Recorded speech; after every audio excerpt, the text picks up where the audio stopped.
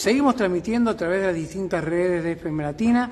Ya ayer fue el Día del Adulto Mayor y obviamente estamos con Jessica que nos va a comentar de lo que estamos hablando porque ha habido hoy una importante movida con respecto al adulto mayor. Buenos días Jessica, gracias por invitarnos y por recibirnos. Hola, ¿qué tal? Copito para vos y para toda la audiencia y así como decías vos, eh, ayer fue el Día del Adulto Mayor y hoy, bueno, estamos realizando una actividad con todos los centros de jubilados, con todos los integrantes del Consejo de Adultos Mayores. Esta actividad se trata sobre prioridad de ingreso y trato digno hacia las personas mayores, embarazadas y personas con discapacidad y movilidad reducida. Así que bueno, eh, recién terminamos esta jornada de, trabajo con el Consejo. Eh, un día de calor nos ha tocado, pero lindo, muy productiva.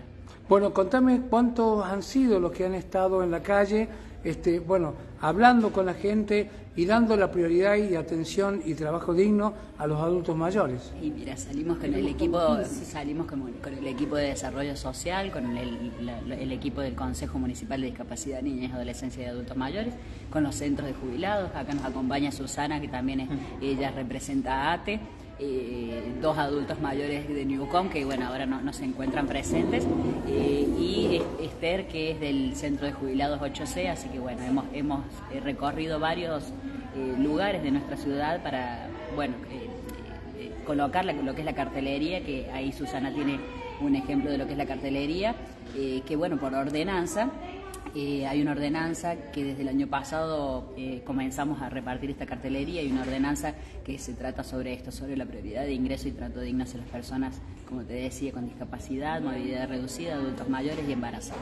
Perfecto. Bueno, Susana, muy buenos días. Bueno, cuénteme cómo la ha recibido la gente a ustedes, que eran 15, repartiendo este cartel que dice ordenanza número 760 y dice prioridad y atención y trato digno, personas con discapacidad, movilidad reducida, adultos mayores y embarazadas. embarazadas perdón.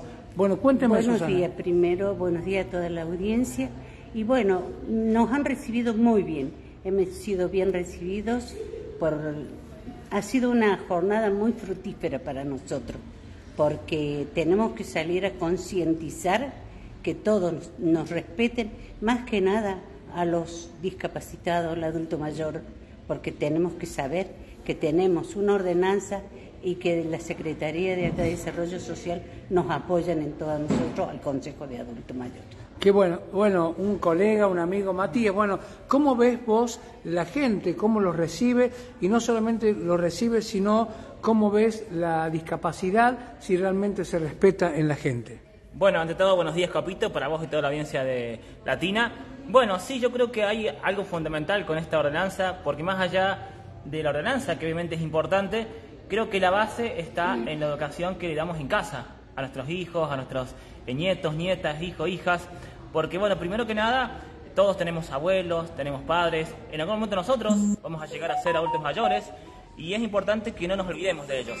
También obviamente de las personas con discapacidad y de las personas embarazadas, pero eh, hablando específicamente que ayer fue el Día del Adulto Mayor, entonces creo que es importante, más allá de la ordenanza, que esto se trabaje en casa, demostrar el respeto y la ponerse en el lugar del otro, la empatía de no dejar eh, los autos en las veredas, de no dejar las mesas tampoco de los bares por ahí en las veredas en el paso, las rampas, las motos, también en los, locales, en los, en los supermercados, en los lugares donde se pagan los impuestos, demás, dar prioridad de paso a la persona. Si te toca esperar cinco minutos más a vos que, que podés, dar lugar al que realmente no puede.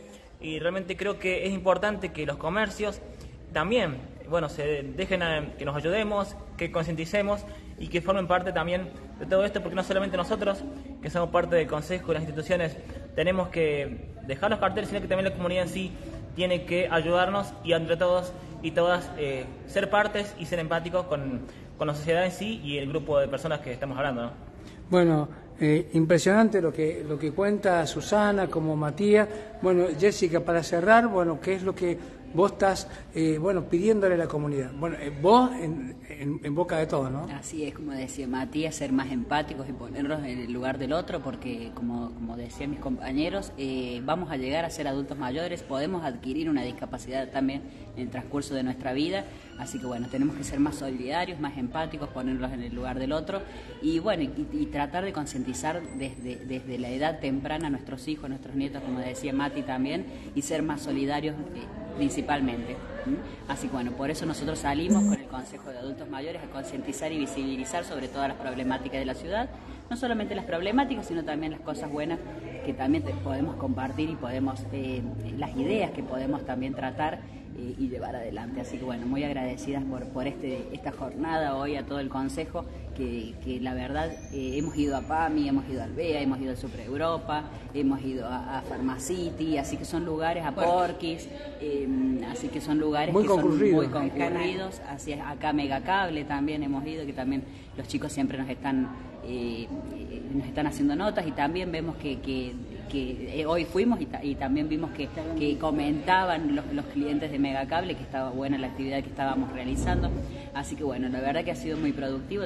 Como te dije, fuimos a PAMI también y Walter Carballo también nos, nos recibió muy bien, el Super Europa nos recibió muy bien.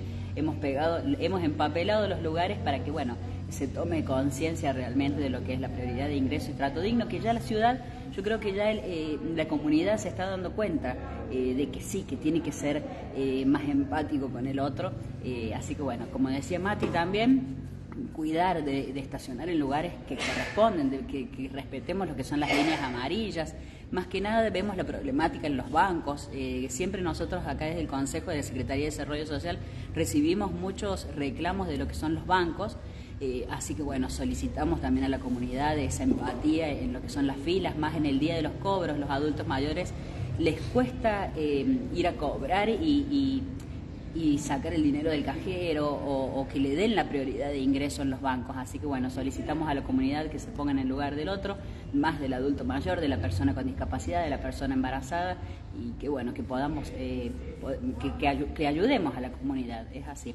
Así que bueno, muchísimas gracias, Copito. Bueno, gracias a vos, Jessica, gracias a Susana, gracias a Matías por esta nota en forma en vivo. Bueno, y ojalá que la comunidad sea empática con el otro. Muchas gracias. Gracias. Nos vamos en busca de información a otro lugar de la ciudad de Villa